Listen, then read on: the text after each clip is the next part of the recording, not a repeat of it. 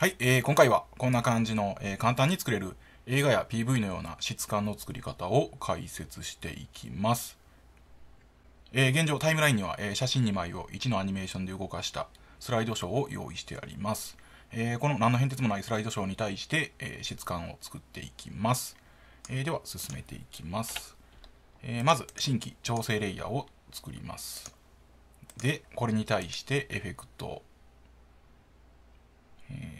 ブラー、滑らかを適用します。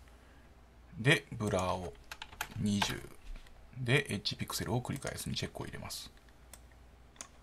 で、マスクの楕円形ツールをダブルクリックします。で、マスクの反転にチェックを入れると、マスクの外側にブラーがかかるようになります。で、マスクの境界線をぼかすところから250としてやると、こんな感じで外側がボケた状態になります。で、さらにこれに色調補正のトーンカーブでトーンを暗くしてやります。こんな感じですね。すると、こんな感じの質感になります。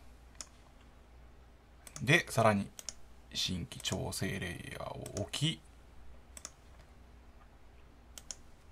色調補正、カラーバランスを適用します。で、この値をいじっていくことで色味を変えていきます。例えば、シャドウの赤をちょっと落として、中間色も赤を若干落としていきます。で、明るい部分は青をちょっと引いていこんな感じですね。すると、こんな感じで雰囲気の違ったルックスを作ることができます。まあ、これは好みでいろいろいじって試してみてください。で、さらに新規調整レイヤーを配置します。で、描画モードをスクリーンに変えてやります。そして、トーンカーブを適用し、これで明るさの揺らぎ感を作っていきます。で、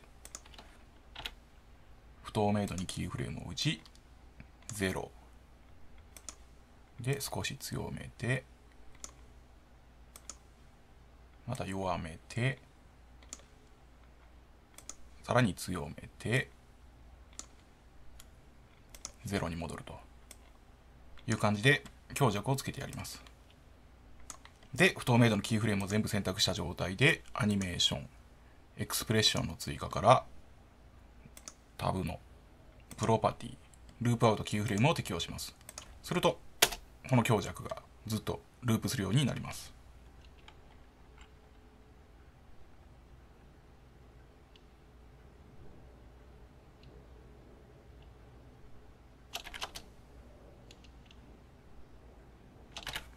もっと強弱つけてもいいですね。で、オルトキーをしながら、えー不透明度のキーフレームを全部選択した状態で一番後ろをドラッグしてやると、全体の速度を変えることができます。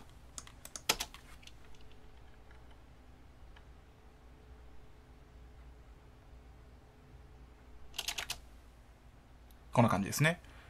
まあ、こんな感じで、えー調整レイヤーとエフェクトを組み合わせて、えー質感を作っていくことができます。えーまあ、エフェクトの、えー種類や、えー掛け具合ですね、の組み合わせでいろいろ質感も変わってきますので、いろいろ試して作ってみてください。今回は以上です。またお会いしましょう。